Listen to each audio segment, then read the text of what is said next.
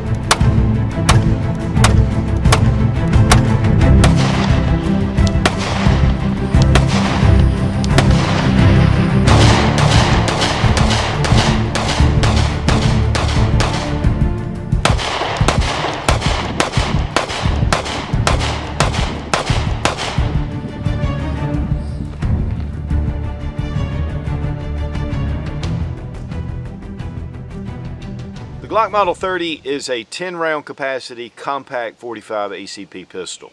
Uh, this is really designed for the American market. Uh, 45 ACP has always been very popular here in the US.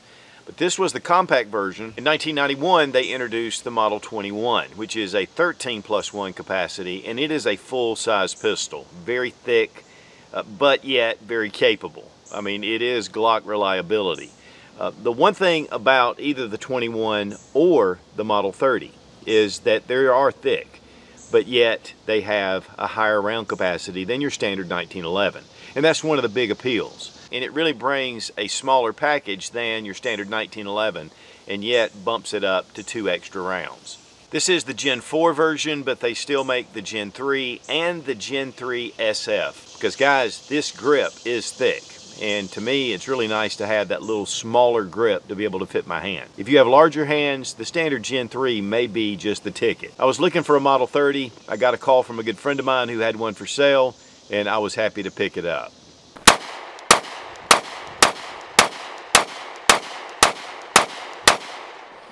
The Glock Model 30 Compact 45 ACP. Um, 10 plus 1 magazine capacity. We'll go ahead and drop our magazine.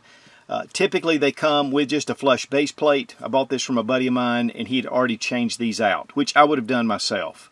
Uh, and let's check the gun, make sure it's unloaded. Uh, one of the things about this grip is that it is really small. And so if you have just a standard base plate, just right here that comes at the edge, you know, you're only going to be able to get two fingers on here, uh, very much like the Glock 26. And so here it just gives you that extra grip. And so I personally like doing that. In fact, on my Glock Model 29, which is in 10 millimeter, I have one of the finger extensions. I try to do that with the subcompacts because it doesn't add a lot and yet it makes it much more shootable. But overall, this is just a thicker Glock pistol. Uh, the slide is much thicker than your standard Glock slide. Uh, the grip is also larger to accommodate the 45 ACP uh, and, you know, 45 is just bigger than 9 millimeters, so they did that with this thicker grip. This was introduced in 1997, and the big brother, the Model 21, was introduced in 1991. This was also introduced along with the Glock 10 millimeter. And 45 ACP Glocks were really targeted for American consumers. And so it was really nice to have these options. The 10 millimeter definitely is very popular, but 45 ACP has just been known as a great man stopper. But again, this is also a very large pistol. Now this is actually a Gen 3 SF for slim frame. Uh, this is the Gen 4, which is the same grip, but we're able to put different back straps on here. And it comes with four different back straps. You'll notice this little beaver tail back strap. Uh, this will fit after you drive this pin out. Just pop this in, put the pin back in, and it actually gives you more of a beaver tail to be able to have more control over this firearm. In fact, on my Glock Model 20 10 millimeter, that's what I have on there because I like that little bit longer. It does make the grip just a little bit thicker, but it really helps to control it. And it comes with a tool to be able to switch those grips out. The 21 is a 13 plus 1 magazine and the Model 30 is a 10 plus 1 magazine. And of course, like all the typical Glocks, you can remove the magazines of the larger and put them in the smaller. And so that way you could carry 13 plus 1 if you wanted to, but it does hang out. But I like this 10 rounder if it has that small extension on it. It just definitely gives you more control. And these are the two areas that you grab typically when you're shooting. This is where you put your pressure. And the texturing and these finger grooves fit the hand very well. Now, again, with the finger grooves on the Gen 5s, they've kind of done away with that, but they haven't come out with the Gen 5 in their bigger frame pistols. Now, the Gen 4 not only has backstrap options, it also has the magazine release can be switched to the other side. And that's one of the things the Gen 3 did not offer. They also offered Gen 4 magazines which have cuts on either side instead of on the Gen 3, which only have cuts on one side. And so that was a big upgrade. Uh, and also, they did upgrade the recoil system. We'll take a look at that in a minute. But you do get a one slot Glock rail. This typically fits most of your Picatinny rails.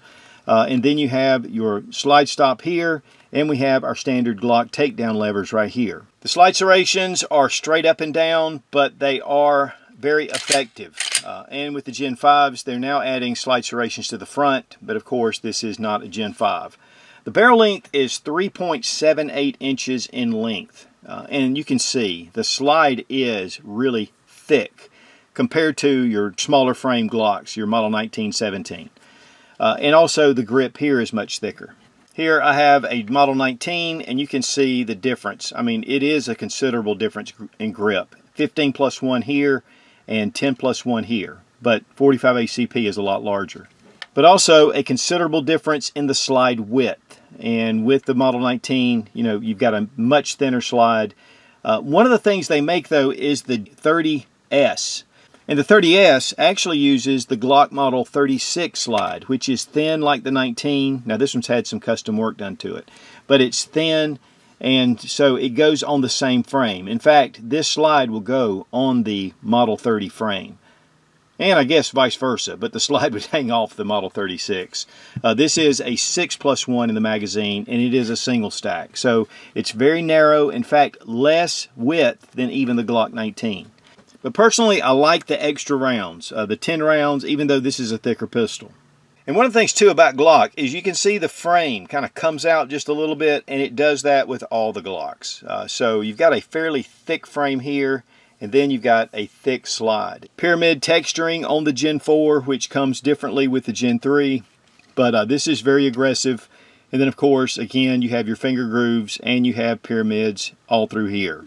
And this is beveled at the front, which makes it nice. We have a trigger safety, and this is called a safe action pistol. And you have this little lever, and you can see it popping up when you press it.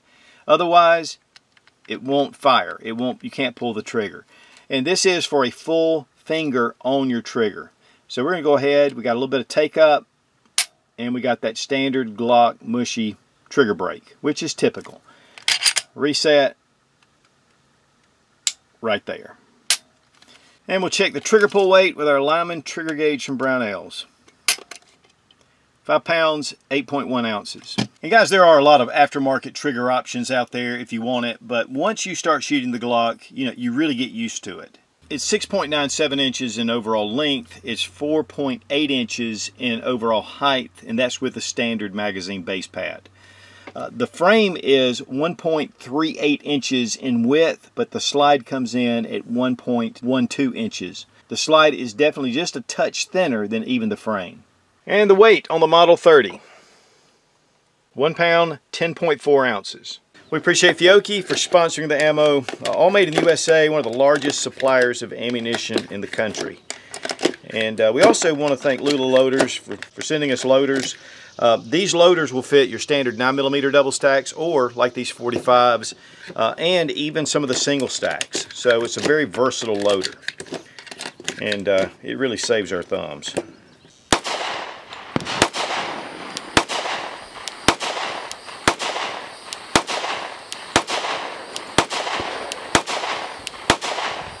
Now the grip on the Model 30 is definitely one of the things that really makes a difference when you're at the range. I mean, it is thicker. Uh, this is a Gen 4, and so it gives you a little better grip to me than the actual original grip, which honestly was really large. And one of the reasons why I sold my Model 30 years ago. But it's a very pointable gun. And in 45 ACP, you do have some recoil, I mean, definitely. What I decided to do was shoot it next to a 10 millimeter, which is the exact same dimensions wanted to shoot them side by side. So first we shot the 45 you know, put some rounds down range, and then just right there switch to the 10 millimeter. 10 millimeter definitely has more punch to it.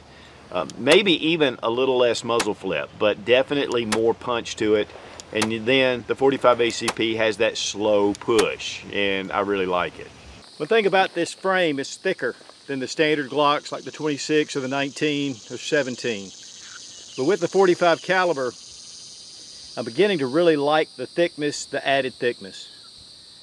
You know, you still have 10 rounds in the magazine and um, there are a lot of options for the magazine base pads. I recommend getting something that extends though just a little bit past because it does give you a full grip. But um, overall, these are great sights. We have some night vision sights on here and they really show up well day or night.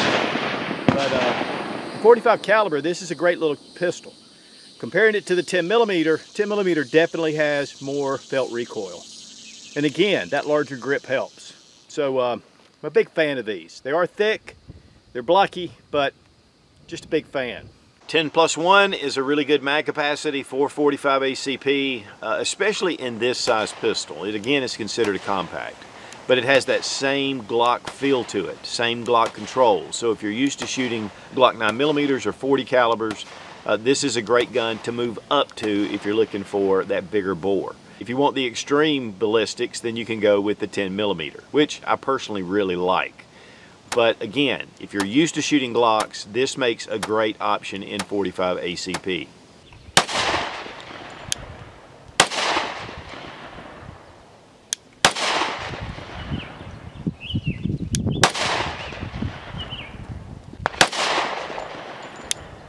Right, for disassembly, uh, we're going to drop our magazine, go ahead and check the chamber. Uh, what we're going to do first is you pull the trigger and then cock back just about an eighth of an inch and pull down on your takedown tabs and then the slide comes right off. Uh, let go of your recoil spring and guide rod. It is a dual spring system and our barrel and our slide. Uh, one of the things they've changed though is the recoil system uh, with the new Glocks. Um, it's just a double recoil spring system, especially with the smaller compacts. It really helps lessen the felt recoil. The barrel has polygonal grooves in it. Uh, they have upgraded to what they call the marksman barrel, but uh, this really just really functions well. But again, it's 3.85 inches in length. Uh, the slide, very well done. Course, you know, your standard striker fire, and you have your little striker safety right here. Here we have our locking block, and we have our slide rails, and you can see how minimal they are. And typically on most of the striker fire pistols it's a very minimal rail system.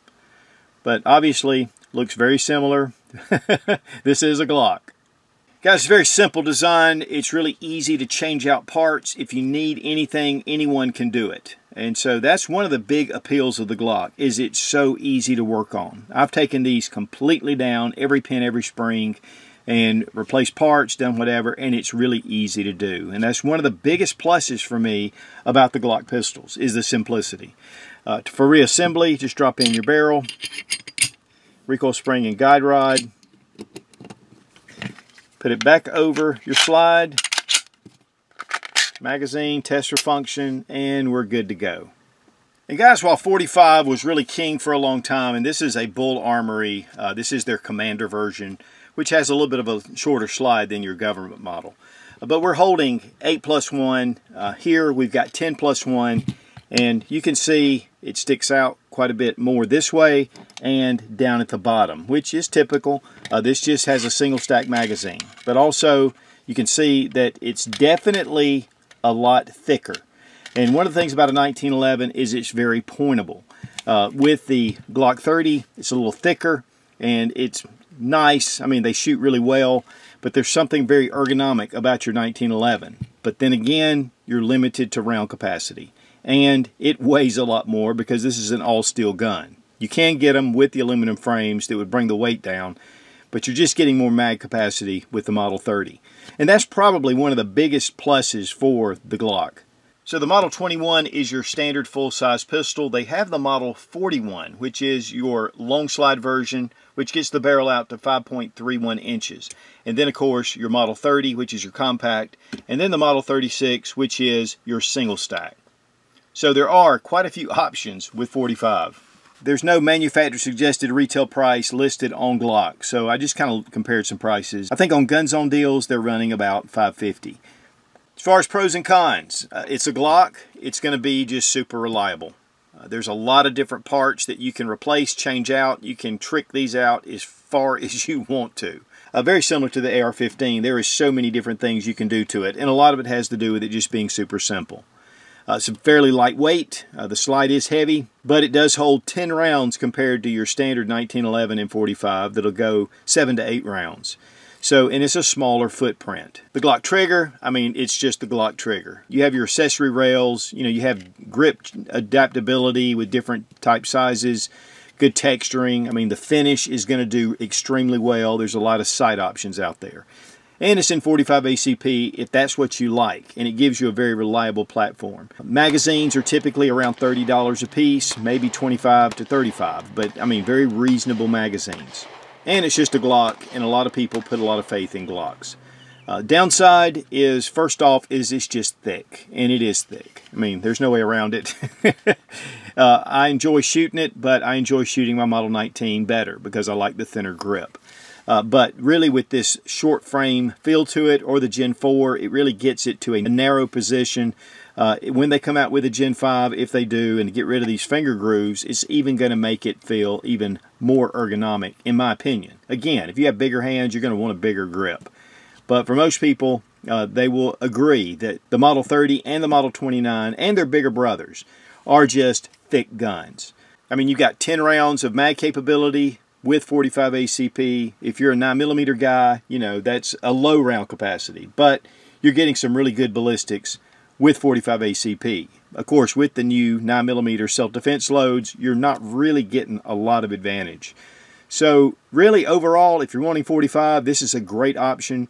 I would suggest, though, that if you go to your gun shop looking for one, that you get it in your hand and you just feel that grip because that is to me one of the most deciding factors. And honestly, one of the reasons why I got rid of my original and I really hadn't picked up one until just this past year. And I really enjoy shooting these though now and with the Model 21, the Model 29, and the Model 20. Uh, I like this large frame size. And honestly, for the calibers they take, uh, the, the little bit larger grip gives you a little more to grip hold of. So overall, these are just excellent. They've been very popular, now up to 25 years. Uh, and then, of course, the Model 21 is coming up on 30 years. One of the staples for Glocks, uh, and definitely something, if you're looking for a 45 ACP, this would be an excellent choice. Low bore axis as well. That is one thing the Glocks are known for. And again, if you're shooting 45 or 10 millimeter, that really helps mitigate the recoil. So guys, if you're looking for a 45 ACP, one that you can conceal carry, uh, this is a great option. Uh, 10 plus 1 in the magazine, you can get magazine extensions. Uh, I obviously have put a magazine extension on this to give me just a little better grip. If you have larger hands, then the standard Gen 3 may be just the right size. And the Gen 4 has those back straps, uh, so you can extend it if you want. Plus, if you're already a Glock guy, I mean, going stepping right up to the 45 ACP is really easy. Now, we really appreciate Sportsman's Guide for being one of our sponsors. And they give a $20 off every $100 or more purchase using Sootch, no zero zero. And they have all kind of outdoor related, camping, hiking, you name it, they've got it. But one thing that I use them probably the most for is their military surplus from around the world. And if you join their buyers club, you get a better price and you get free shipping on most items. So check out Sportsman's Guide. It's a great resource. Be strong, be of good courage. God bless America. Long live the Republic.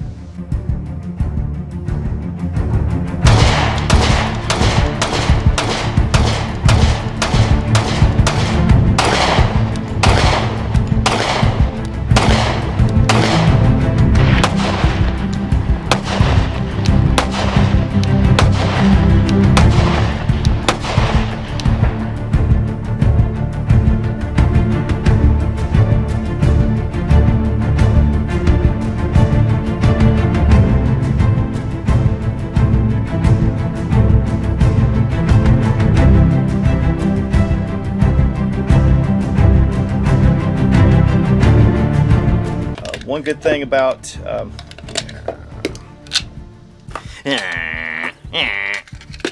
sending us loaders, whoops. The blocky glocky. Blocky clock. that kind of awkwardly. Awkward. Oh, we got to do it smooth, people. Smooth. Got to look good for the camera. Of the Glock Model 21. And this wind, what is the wind? I mean, you can see that it's a lot thinner. I don't know if I'm going to do that. It just allows you to get a full grip on the handgun. Dudes, what are y'all doing? I'm trying. I'm out here doing a video. Troy, hang up. I, I got all this on video. Hey man, what's up? What are y'all doing on FaceTime? I have no idea. I